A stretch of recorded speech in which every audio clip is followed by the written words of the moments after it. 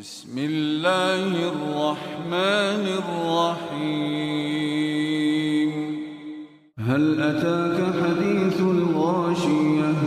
وجوه يومئذ خاشعة. عاملة ناصبة. تصلى نارا حامية. تسقى من عين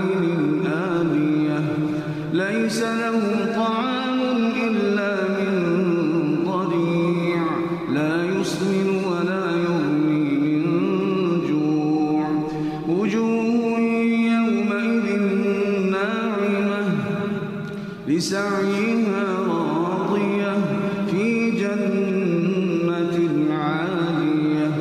لا تسمع فيها لاغية فيها عين جارية فيها سرر مرفوعة وأكواب موضوعة ونمارق مصفوفة.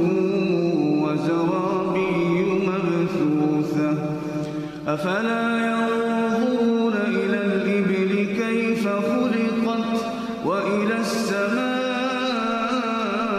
كيف رفعت وإلى الجبال كيف نصبت وإلى الأرض كيف سطحت فذكر إنما